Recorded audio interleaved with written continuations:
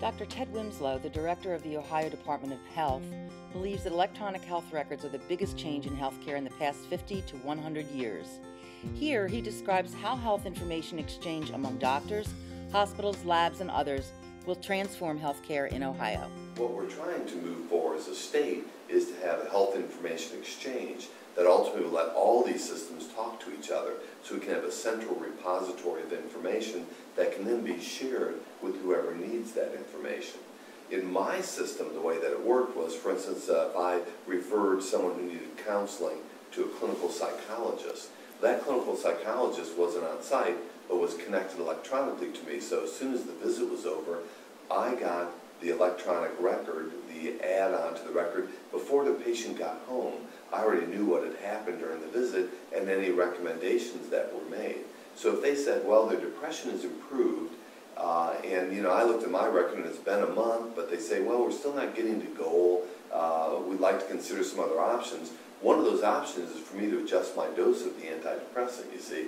Well, I could make some decisions before the patient ever got home about how to treat them, contact the pharmacy if I want to bump the dose, and by the time the patient gets home, I can have emailed them so that they can actually receive that and go pick up their uh, higher uh, prescriptive dose that I just gave. They used to happen in two to three weeks in the past, so I'd have to wait for a note to be dictated, have it be typed up, have it be sent in the mail to me. I'd have to pull a chart. I'd have to open the chart, review all the information. Then I'd have to tell my nurse I want to do a refill, uh, but I want to do a higher level of, of medication. The nurse would call that into a pharmacist. We'd have to, that would take weeks to get that done. And I could do it in minutes uh, with an electronic record. So that connectedness allows us to make quick decisions that are very appropriate and good for people's health and do it in a manner that gets us to the quality goal that we have, which is getting people better faster if they have an illness or keeping them from sickness if I can do that by focusing on their wellness and health and do it in a way that, for me, takes minutes only. It doesn't take long. You have to have patients that understand the importance of allowing us to see others' information so that we can go ahead and make sure we have the proper information available to me so that I can share mine and I can get others. And that's what we're going uh, through right now is that whole discussion about, well, what do we do with HIPAA? What do we do with protection of privacy and those things?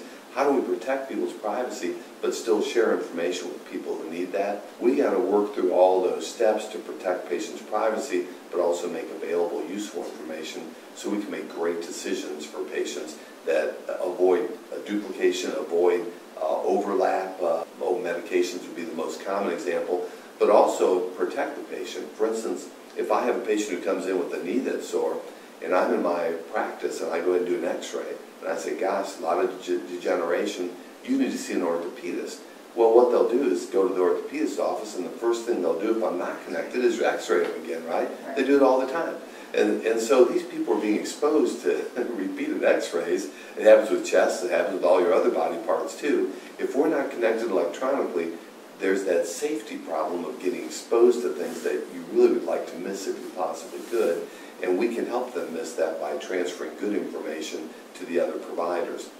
Networks that are closed networks that have everyone connected are largely there, but still they have trouble exporting information out of their system. Ultimately, with our health information exchange, we hope to have all that available to organizations that can talk to each other with our interoperable uh, systems that we'll put in place.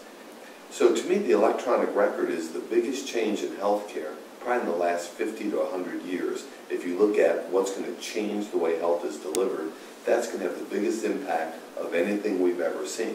The problem is, it's change, right? And, and it's painful. And so all the docs I talk to go, oh my God, you've got to be kidding.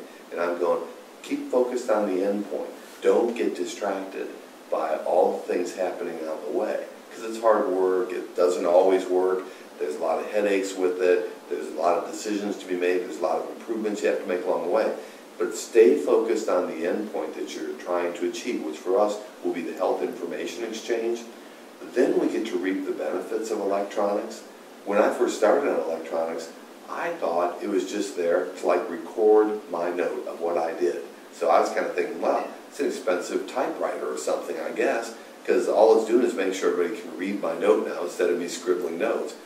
That is the least valuable part of what the electronic record does. All these uh, bits of data that we put in as we populate our record are useful to a variety of different people that are focused on trying to improve people's health. And if we make it available to everyone in large systems, then chances are patients will actually achieve better outcomes than they've ever achieved before.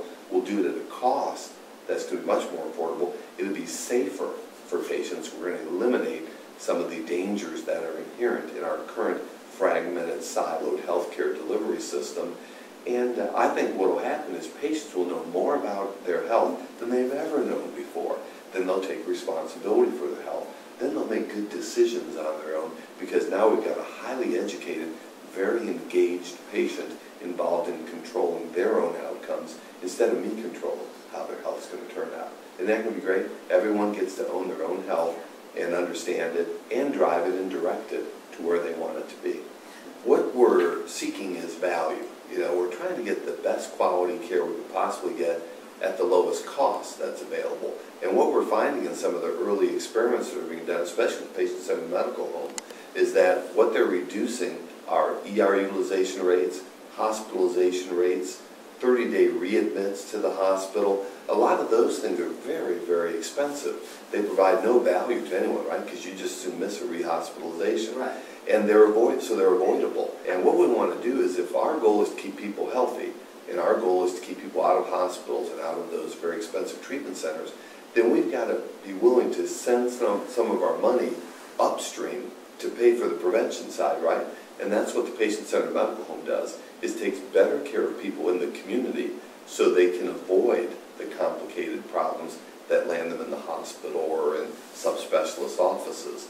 So, so believe me, hospitals and subspecialists sometimes uh, express some concern about what would happen if we were successful.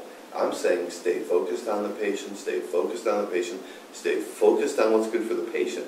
If you stay focused on what's good for the patient, everyone agrees that we want to practice differently in a way that allows people not to have complicated illnesses, not to have avoidable complications, not to have unsafe things done to them. Uh, if they can miss it, let's all miss it. So, so our focus is to redefine what our goals are in healthcare, and that would be wellness and health, right? We now have a national uh, prevention policy that says, let's stop focusing on sickness and illness, and let's focus on wellness and health instead. Thank you to Dr. Wymyslo for sharing his vision of a health information exchange that will improve the health of all Ohioans. The Ohio Health Information Partnership has started to sign up hospitals for CliniSync, Ohio's statewide health information exchange. To learn more about how the state of Ohio is building this interchange, visit www.clinisync.org.